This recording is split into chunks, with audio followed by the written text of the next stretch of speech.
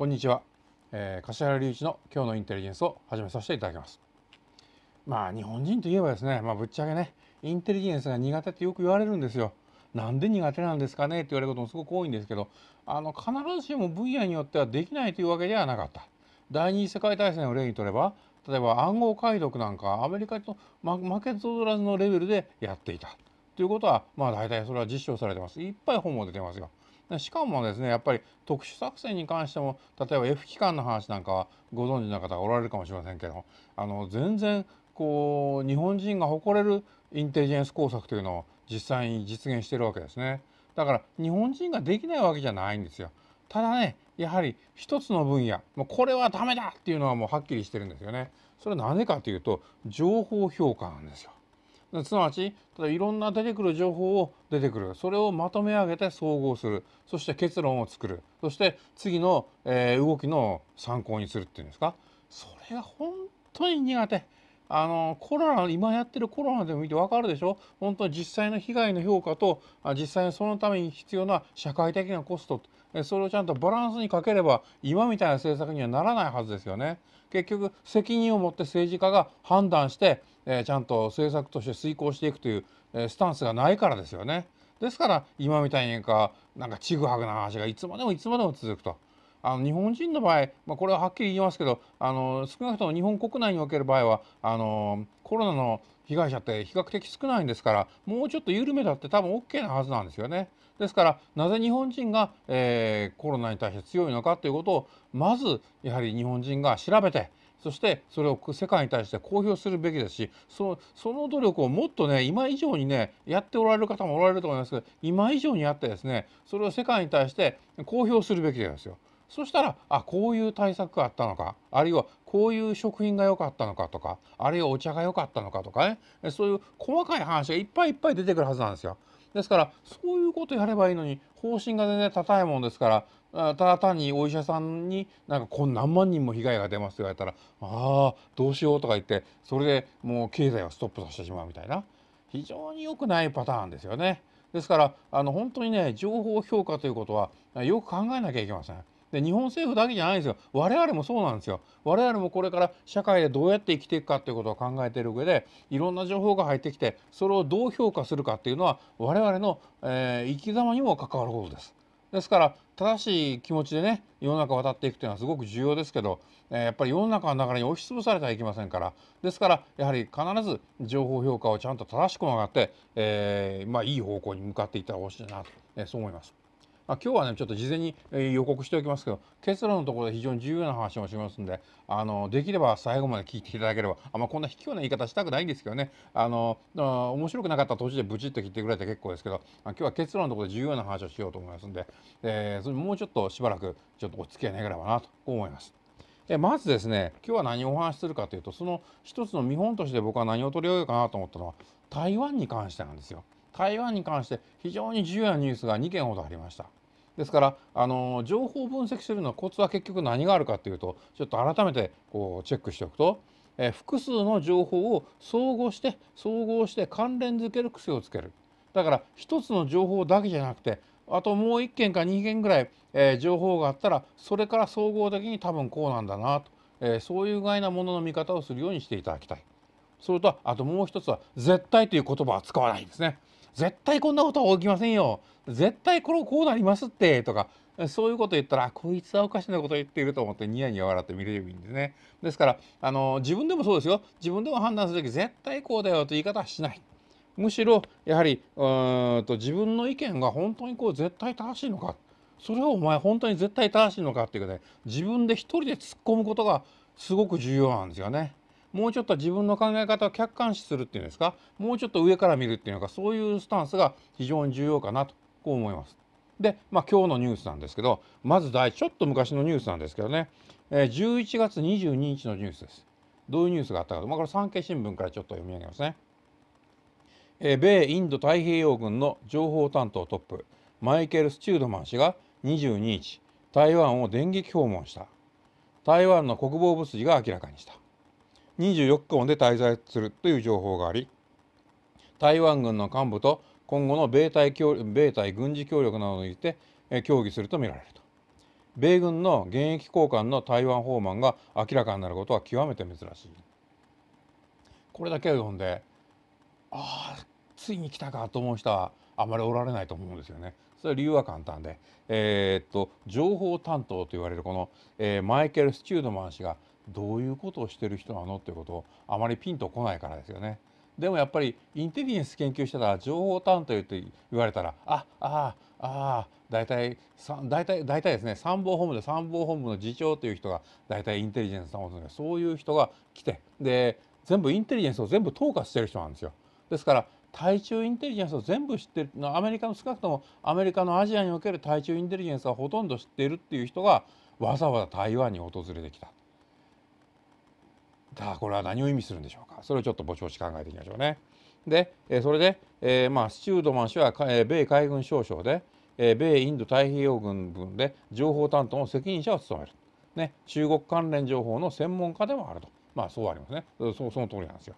だから今回の訪問が目的は何かということを推測しますとやはり単なる表敬訪問じゃないと「こんにちはお元気ですか?」とかそうそういう話ではないと。でやはり緊急の情報をですねやっぱり台湾に伝える必要があった。しかもですね伝えるにしてもですねある程度権限がある人じゃないとやっぱり本気度は分かってくれないわけですよ。ですからもう情報担当として責任を持ってあ米軍が仕入れた情報を伝えに行ったとそう考えるべきでしょう。じゃあその伝えるべき情報とは一体何だったのかこれはまあ文脈的に考えてですね文脈的に考えて中国による台湾侵攻が近いとそういう内容を多分こう、えー、伝えに行ったんだろうとそういうことはまあある程度推測はできるわけですね推測ができるとだけ言っておきましょう。ですからあのこれはですねだから急速にこう米中の戦争の雰囲気っていうのはすごく高まってるんですよ。例えばですねこんな事件もありました。えーと、チベットのね代表をねチベットの亡命政府ですねインドのねそれの代表をホワイトハウスで受け入れたっていう事件があったんですよね。ですからこれまでね多分これは初めてなんですよ。チベットの亡命政府をホワイトハウスが受け入れるっていうのは多分あの初めてなんですよ。あのダライ・ラマっていうのはありましたけどねでも実際に亡命政府の人がホワイトハウスを訪れるっていうことはなかったんですよ。あとポンペオ国務長官がですねアジアとかを飛び回っていってですね、えー、対中対中包囲網を作ろうと今必死になってやってますよね。モルジブに行ったりですねインドに行ったりもう本当にあらゆるとこにアジアに重点を置いてですねもう駆け回ってますよね。それとこういう情報をつなぎ合わせてみるとやはり中国との戦争が近いんだとそう判断できるんじゃないかとこう思うんですよね。ただこれは単に情報担当が台湾に行ったっていうだけのニュースしかありませんから実際にどういうことが協議されたかっていうことはわからないんですよね。それを補うもう一つのニュースが実はあったんですよ。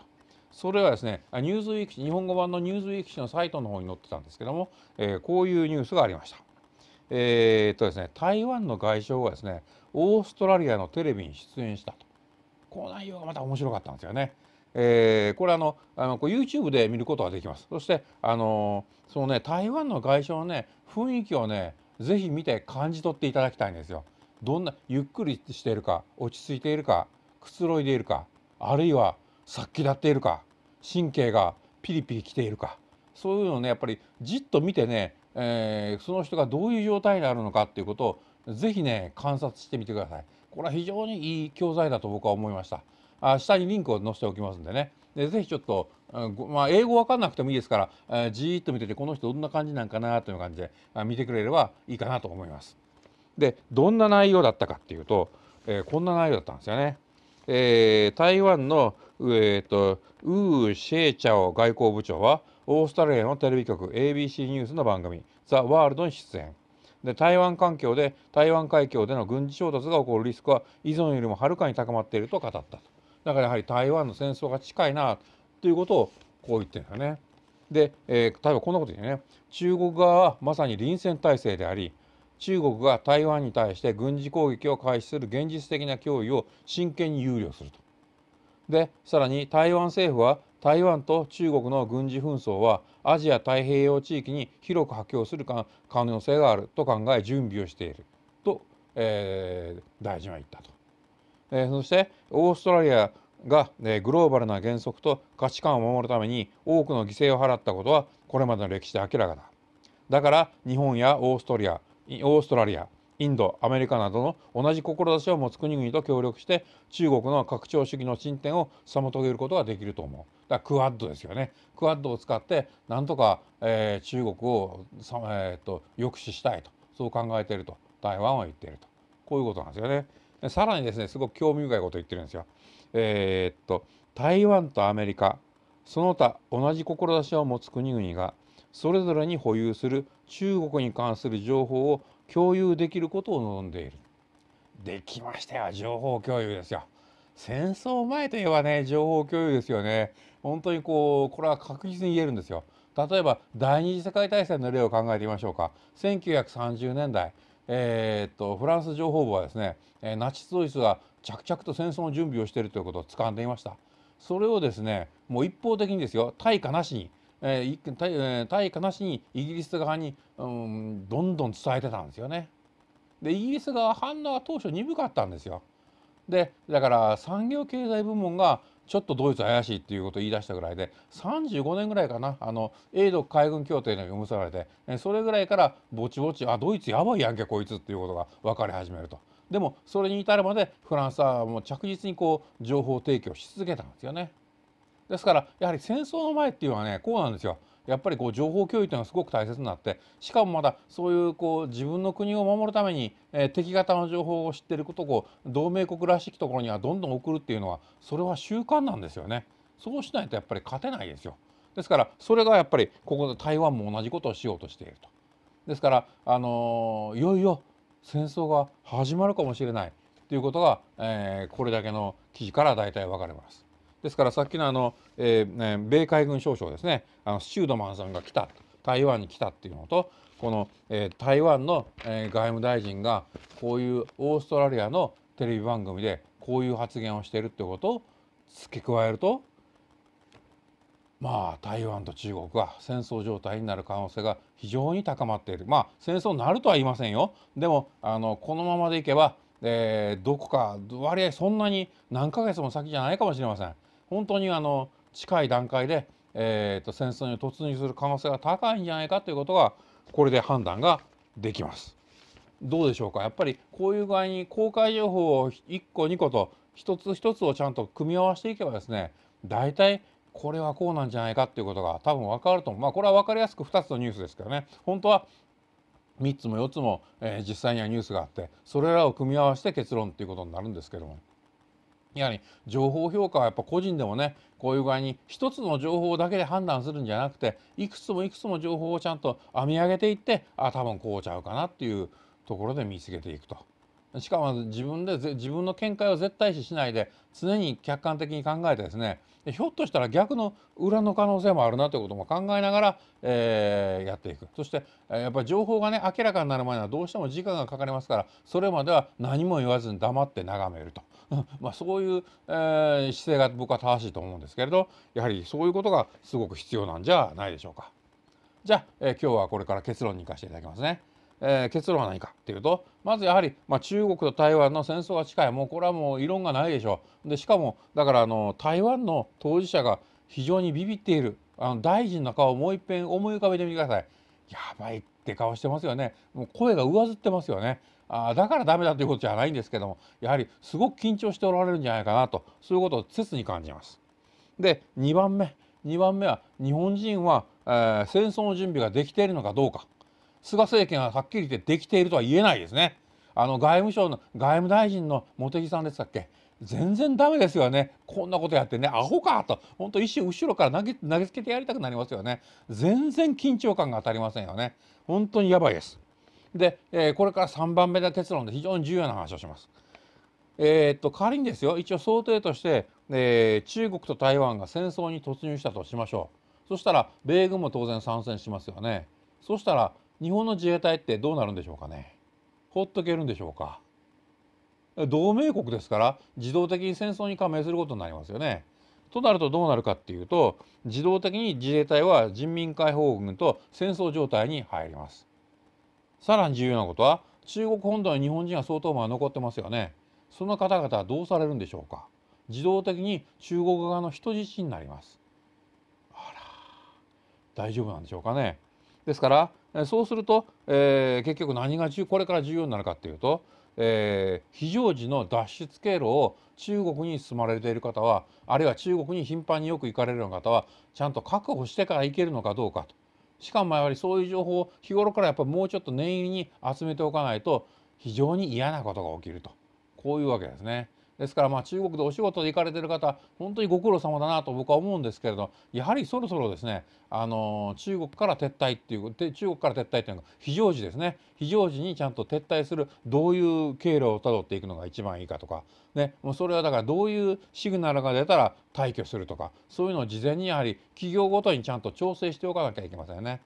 あともう一つ付け加えるんだったら台湾は攻撃の攻撃の対象になるんですから台湾にお住まいの日本人の方も相当多いと思います。日本企業の方もすごく多いと思います。やはり台湾からも一旦日本に、えー、脱出するってことはちょっとそろそろ想定してもいい時期に入ってきたんじゃないかなと。えそう思います。まあ、家族の方がねもうちょっと一緒に住めなくなるというのはとしばらく仕方がないと思いますけどちょっとこの1年ぐらいは、え様子を見か見て見ておいておかれた方がよろしいんじゃないでしょうか。台湾だから安全だということは多分ないですよここまで来たら。まあ以上が、まあ、結論になります。